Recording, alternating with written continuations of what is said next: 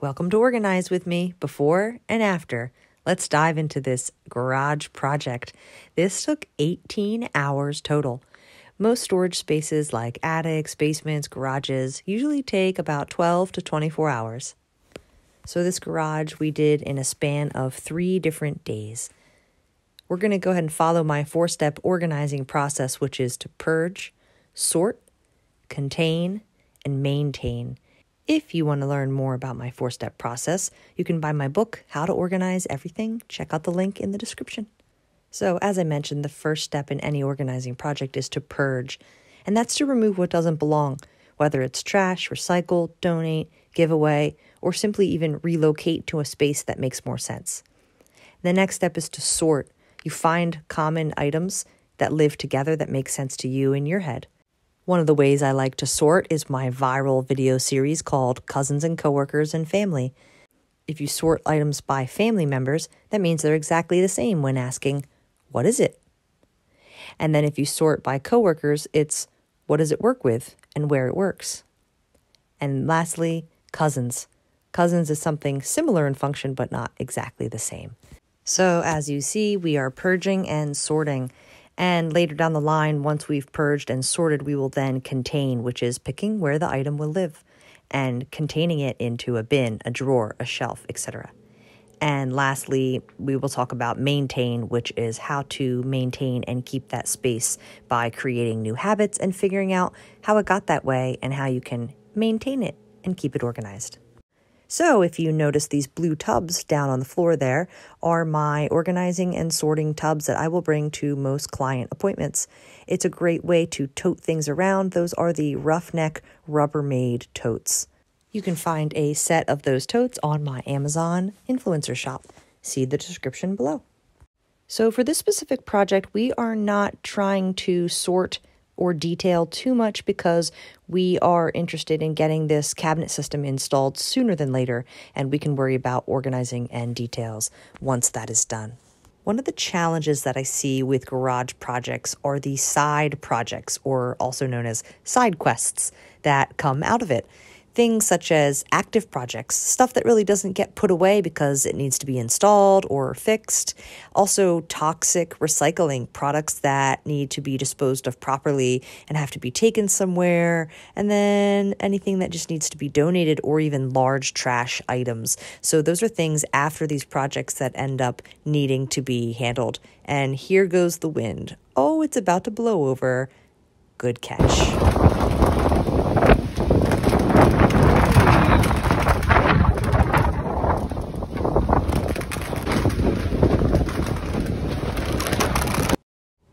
And now it's starting to rain. So we threw some tarps over everything we could. And that's pretty windy for Pennsylvania. Okay, we gave everything a nice sweep, and it's time to start unloading these cabinets. This set of cabinets is from a company called New Age Products. The series is a 10 piece set called Pro 3.0. The client picked it because it's heavy duty and can hold a lot of weight. I had never installed any type of cabinets like this, and I was actually really impressed with the quality, uh, even the way they thought through their packaging. They protected their cabinets really well. Everything was really easy to install. One of the challenges was, ooh, it's heavy. Couldn't quite get the lift here. And nope. So we had to think safety and we got out a dolly to help make things a little bit easier. There we go. So the feet are adjustable, of course, kind of like a washer and dryer, and it took a little bit of time for each cabinet getting it level. With the next few cabinets that you're seeing, we did have to install the feet, which was just with some basic tools and really easy to do. I would say each cabinet from unpacking to setting up and getting level took 30 to 45 minutes. And once we got the first one done, we got the hang of it. So these upright cabinets were pretty easy. It did come with three wall cabinets that need to be installed in the wall, and it did quite work out uh, as nice as we had expected it to. So those three cabinets are going to be installed in another day. But total install time for everything that you're going to see was probably about four to five hours total with a two person team. What I thought the cool part about these cabinets were is other than the hanging cabinets, the configuration can kind of be however your garage is laid out. So you can kind of pick and choose where you want them to go. Um, the client had already measured and figured out how they wanted them aligned, and for the most part, they were pretty perfect. And what's neat is they give you options if you want some type of locker or wardrobe, you can install hooks and a rod to hang clothes. So now we've got the two taller cabinets up. There is one more tall one that's going to go in after the window there to the left. We're going to bring in three smaller drawer units that are going to be for small tools and work like a tool bench. Also, on top of it, it's going to be installed is a really nice stainless steel top. One of the things about being a professional organizer that I love is it's always a new day, a new client, a new project figuring out how to meet that client's needs, how to communicate best, and find out how their brain works. But not only that, working with stuff, new types of stuff. And ultimately, I think I just like things and I love to learn. This client had a lot of really great things to teach and a lot of cool tools to learn about. And one of the perks of being a professional organizer is a client is usually more than happy to pass along things that they don't want and see it go to a good home rather than just a general donate or seeing it wind up in the trash. So I did come out of this project with some nice new tools as I just started my tool collection within the last few years. And we're on to the last tall cabinet. I'm just doing a little bit of cleanup while my client preps for the next one. The rain has subsided, luckily, and we are down to the last cabinet. I really love how they nested all the small cabinets and parts and shelves within the tall cabinets. So it was ultimately three pallets that they dropped off in the driveway. Here we are starting to secure the cabinets together. There are holes and notches on each side of each cabinet in order to secure them with some nuts and some bolts we ended up having to refigure some of the wiring on the wall. You can see to the left of the window there. So we had to remove that in order to squeeze this tall cabinet in. All we got to do is put the feet on, turn it up, and put it in, and we're pretty much done for the day other than the countertop. Well, I've been going on for about seven minutes now, so I'm going to give you a little audio break.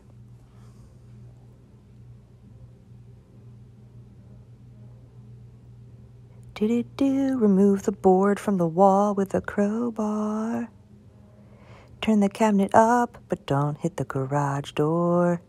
Take out the level, adjust the feet. Do do do do. Do do do do. Time for the countertop workbench. Stainless steel, beautiful piece. However, wrapped in sticky protective film. Woo, what a pain. This is a time lapse. I wonder how long it took. Finally, I got the idea to slice down side of it with a knife, and that helped it peel a little bit better. But pull it, pull it, pull it, rip it, rip it, pull it, pull it, and it's off. That really brought everything together, and it looks really nice. All we got to do is secure it from underneath to the cabinets, and we're set. Now, there's still shelves at the back of the garage there at the end wall. Those will be installed with some shelf clips tomorrow once we start putting everything back in. Now, we had to pull drawers out in order to secure the countertop to the cabinets. Here is the first shot of the garage from far away. This is the next morning. The sun is shining. It's a cool fall day in Pennsylvania. Nothing got too wet from the rain. We've got our piles sorted, even though it looks a little chaotic. It's time to start sorting and categorizing. So, some of the piles you see there are for storage. Uh, they're going to go to a storage unit, and some things still need to be purged. So, we're going to get to that in a little bit. We are going to start installing the shelves. The shelf clips were really, really easy. They're adjustable shelves. The track runs all the way from top to bottom. We started at the top and worked our way down. I worked retail for a really long time, and that is something that they taught us to start at the top and work your way down. I'm not sure why. Luckily, he already had these bins that you see sorted into categories. Uh, I did do some labeling with my label maker, but that was a little bit mm, too detailed for the size of this project. So uh, I feel like garages, you could go so detailed with all the screws and the hooks, especially if you're a do it yourselfer. There are so many little items, uh, but we didn't end up going that detailed. You'll see tomorrow or the next day that we work to finish the details that we did dive into uh, some sorting little stuff. Anyway, so those categories there, I'll show those later as to what was in those containers and those bins, but luckily they were kind of already ready to go. So that was the easiest. So, how do you know where stuff should live? I talk about real estate. So, this client is tall. For anything that's high priority, you want things within reach, not too low, not too high. So, when putting things away, we want to make sure that everything that he uses often is within easy reach one to two steps away, especially if it's something small. You're in the middle of a project and you want to go grab something real quick, one to two steps away is very ideal. Now, also, you think, where do I know how to put things? You want to use the most common things within reach but also if it's obvious and you know where it goes, start there. We knew in that very first tall cabinet that those bins were going to go all in there and fit really well. So that was very easy. He knew that he wanted to put all his chemicals and cleaning products, etc., in this wall cabinet that had already been there too. So we started with the easy stuff first, and that's what we did.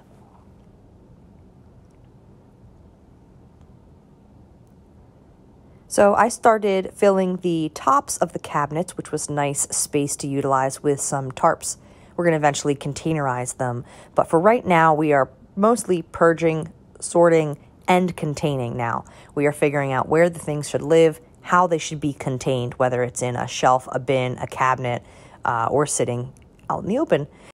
The next step, I wanted to sort out in the driveway lots of the small screws and oh, why don't I just go ahead and cut this with my knife and then slice my finger?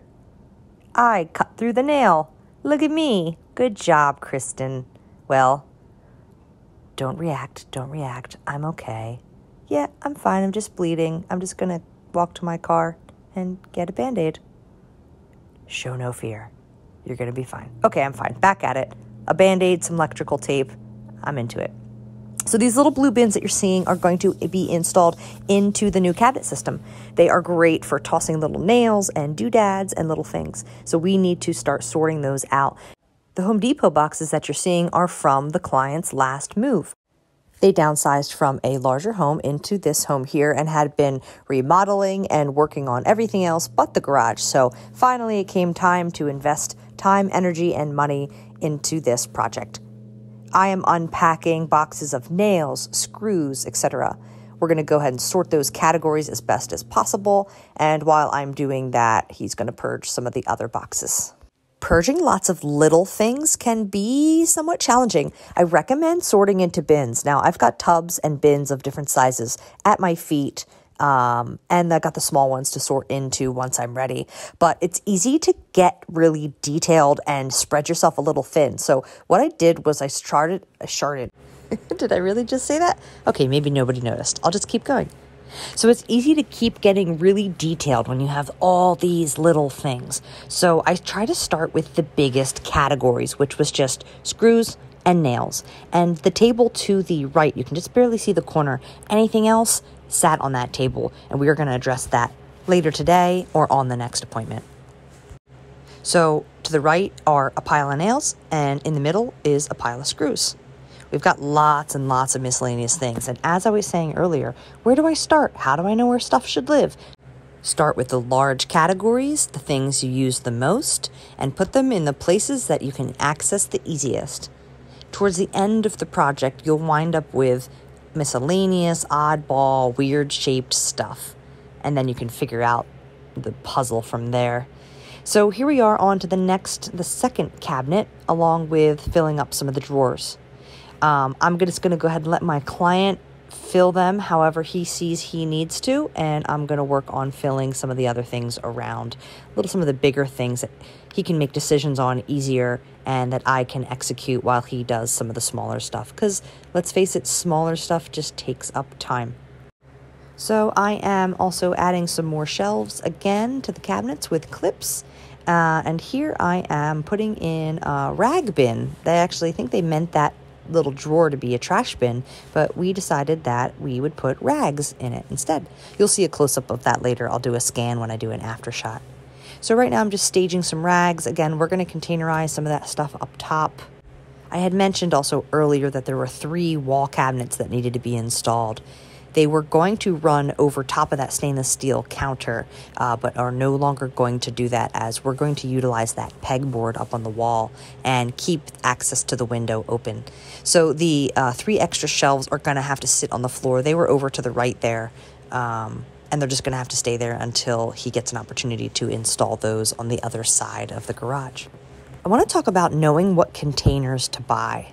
Now, as an organizer, I see a very common container size. I'm talking about the clear plastic bins mostly. That's the most common container that I will recommend or that most clients have. You can see through them, and some people like the latches. Sometimes the latches are cheap and they fall off, but if you find ones with good latches, they can be really helpful. So, anyway, if you don't know what containers to buy, go ahead and just stage items where you would want them to live. So, you see the rags up on the top above above our heads next to those tarps. We just staged those there, thinking, you know what, we'll probably put those in a bin later, but let's just at least get them there. Then we can measure and figure out what bin will fit. Also, if you can just use cardboard boxes or any type of containers that you have laying around just to get everything together. So what I did was I'm just kind of staging stuff inside this cabinet on the right hand side. You see a white tub there. That's just one of my sorting bins. And I'm just going to kind of leave that there until we see how big that pile is. Once you see the pile and you know how much you have, then you can go out and buy the correct containers. Sometimes it's just hard to anticipate what you're going to need. Uh, you can see the pegboard straight ahead with the yellow and red little tubs there. Uh, we started adding the most commonly used items.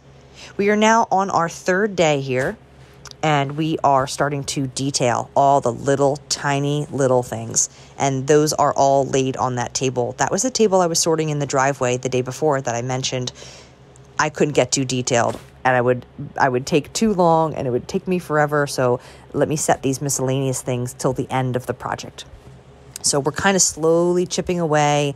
I'm kind of, you know, asking, you know, do you need these little things? One key thing to remember when you have an item is to ask yourself one, will I remember I have it? And two, if it's so miscellaneous and random, are you going to remember where the heck it is? Because if it doesn't really live with anything, and it's easily replaceable, let it go.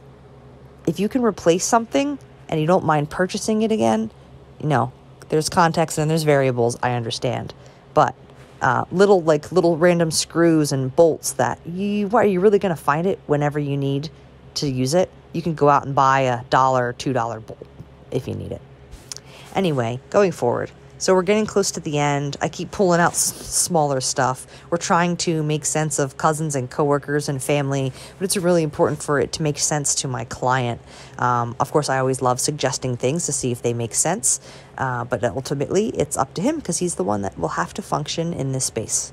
I have to say, sometimes you have these oddball items like the orange piece laying on the table there we just really just that just kept floating around for three days. We just didn't know what to do with it because it was kind of its own thing. So what ends up happening is, you know, something like that gets stored with similar shaped items because it's long. It doesn't really sit in a drawer. It doesn't get used much. So where would it live? Maybe with other long shaped types of items. And you know what? Sometimes that just happens. You know what, also, too, is really cool when I'm with a client and we're working on a project and we're trying to figure something out, like one item or one category, and it's just not making sense. I say, you know what, put a pin in that. Let's table that. It'll come back around and it'll work out towards the end. And almost 99.9% of the time, we find a solution at the very end. It just kind of comes to us. So if you're not quite sure and you're kind of trying to force something, just just keep working on with the stuff that you know and usually it'll a solution will pop up at the end. I really love that. I think that's awesome. So here I'm just like I'm wishing we could dive into more detail. Uh, I would love to label every little bin and really go through all these old screws and tools and things like that. But um, I think just getting into homes for now is a big step in the right direction, and I'm trying not to get too detailed. So we're re strategizing how we can finish with our last few hours here. We're going to get close to the end here. We're going to be wrapping up shortly. Let's have another little audio break. Sorting all the little things, all the little things. Do do do. I love to sort, sort, sort.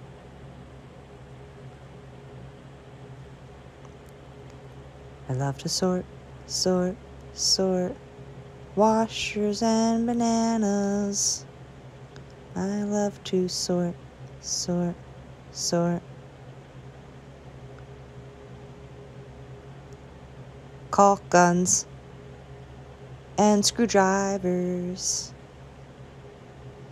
Oh, that table's getting empty. It's all the real weird stuff left over.